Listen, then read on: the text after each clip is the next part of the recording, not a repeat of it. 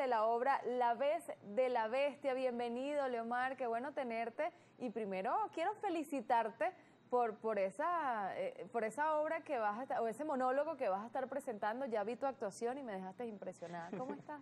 muchas gracias, muchas gracias, Reimer. Eh, bueno, emocionado, emocionado porque este trabajo estrena ya este sábado y domingo en el Centro Cultural Chacao y desde el Teatro de la Penumbra estamos moviendo esa maquinaria para poder entregar el mejor espectáculo posible.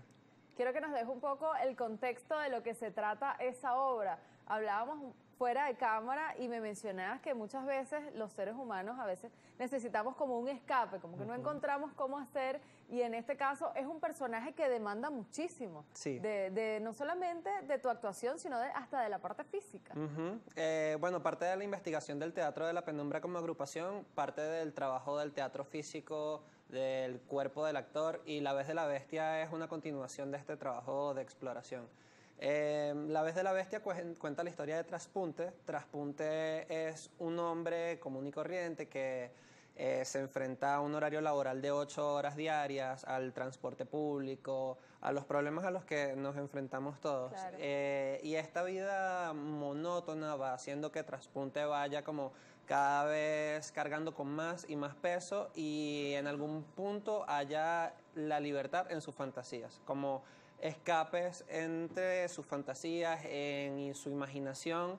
Y acá se proyectan, se proyectan estos otros dos personajes que son Macaria y Melione, que son la proyección de la bestia, de las fantasías de este, de este señor, eh, que a lo largo de la obra va viajando hacia la deconstrucción de esta, de esta persona hasta, bueno, hasta que llega a un punto de no retorno llega un momento en el que colapsa, ¿no? Supongo. Y, y, esto también hace un llamado a que muchas veces nosotros hemos mencionado acá en el programa que esas enfermedades a veces mentales también hay que prestarles atención y es un personaje que de pronto pudiera tener un trastorno tal vez me, me, llama muchísimo eso precisamente la atención. Quiero que también hablemos de lo que es para ti la puesta en escena, esa preparación, esos ensayos, todo lo que implica un monólogo, sobre todo porque no es solamente un personaje, sino que tienes que eh, hacer varias eh, o, ir pasando por varios matices y, y, esto es algo que debe ser bastante complicado. ¿Cómo ha sido? ¿Cómo es la preparación de un monólogo de esta magnitud? Bueno, para estrenar La Bestia eh, pasaron, pasó un año de ensayos antes de que La Bestia pudiese ver, pudiese encontrar encontrarse con el público.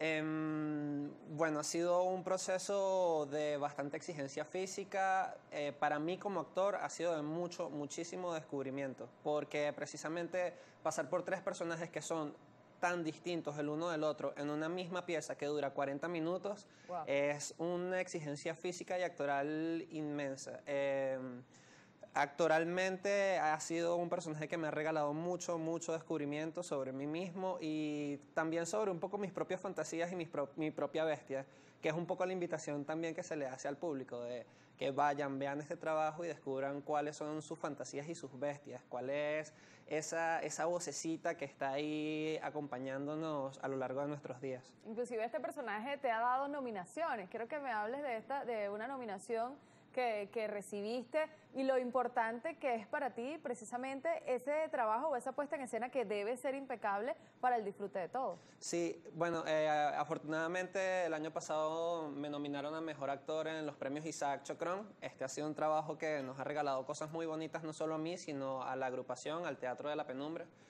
Em, y ha sido un trabajo que hemos cuidado muchísimo, que hemos tenido la oportunidad de, ya esta es nuestra tercera temporada. Em, en el Centro Cultural Chacao. Nos tuvimos la oportunidad de estrenar en el Laboratorio Teatral Ana Julia Rojas, que es nuestra casa, el lugar donde hacemos vida. Y una segunda temporada también la tuvimos, la tuvimos ahí. Y esta es nuestro, nuestra tercera. Eso es lo que te iba a decir. En esta oportunidad, una tercera temporada, que eso significa que ha sido un éxito. Quiero también conocer un poco a profundidad acerca de esta obra, quién la escribe, quién la dirige, ¿Cómo es ese proceso también de, los que están allí detrás? Sí, eh, bueno, esto es un texto escrito y dirigido por Andreina Polidor. Andreina Polidor es la directora de nuestra agrupación. Eh, inicialmente este iba a ser un trabajo donde iban a ser 12 personajes, o sea, es un trabajo que ha mutado muchísimo. Iba a ser en un principio el proyecto en el que más personajes iban a tener en la penumbra. Y el tiempo lo fue mutando hasta que, bueno, se convirtió en el primer monólogo en ser producido por el Teatro de la Penumbra. Y una gran responsabilidad, que de 12 personajes solo quede uno y sea precisamente el tuyo. Pero vienen otros proyectos también para ustedes. Quiero que, que conversemos un poco acerca del que no solamente es esto, sino que están haciendo algunas cosas súper maravillosas y quiero que aprovechemos la oportunidad de hablar de los proyectos para, para ustedes. Eh, bueno, precisamente hoy estrenamos otra obra en la Fundación Rajatabla. Eh, se llama Coriolano, es un texto de William Shakespeare, es una versión libre de Andreina Polidor, también es dirigido y escrito por ella. Y acá nos, nos encontramos con la historia de Coriolano. Es una historia llena de venganza, de política, de, bueno, como son las historias de Shakespeare, llenas de mucho, mucho, eh, de mucha humanidad, de, mucho, de mucha fuerza. Sí. Eh, los horarios de esta función eh, son a las 6 de la tarde viernes y sábado y a las 5 los domingos en la Fundación Rajatabla, que la podemos conseguir en Bellas Artes. Pero hablando o retomando el, esta, esta obra que van a presentar ustedes de La vez de la bestia, también quiero que le hagas la invitación a las personas que están en sintonía y que expliquemos a detalle, será, me dijiste, Sábado y domingo, dos funciones, repetimos. Solo van a ser dos funciones en el Centro Cultural Chacao, en la Sala La Viga, el 6 y 7, este sábado y domingo a las 3 de la tarde. Van a ser las únicas funciones que vamos a tener por el momento. Súper interesante. ¿Cuáles son esas redes sociales para ampliar esta información para las personas que estén interesados en ir a disfrutar de este monólogo? Que ya les adelanto que vi un pedacito por allí, quedé impresionada y soy de las primeras que quiere estar allí participando con ustedes? Bueno, pueden eh, ampliar la información siguiéndonos por nuestras redes sociales, arroba Leomar Aponte Piso y arroba Teatro de la Penumbra. Así es, ya saben cómo pueden hacer para contactarlos. Actividades culturales para este fin de semana. Gracias, Leomar. Gracias. Éxitos para ti en este estreno de esta tercera temporada de esta obra tan reconocida. Por ello ustedes dicen, rómpete una pierna, ¿te puedo decir? Ajá.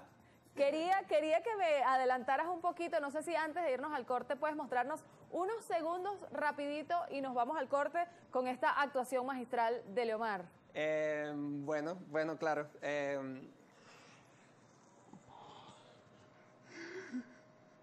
¿Por qué? ¿Qué es lo que escondes debajo de tu camisa?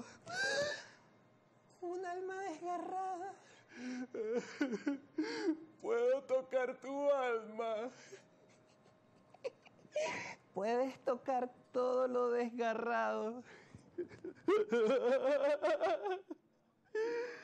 Estos son solo dos de los personajes que vemos en esta pieza. Bueno, muchísimas gracias, Leomar. Hacemos una pausa y en la próxima parte más contenido.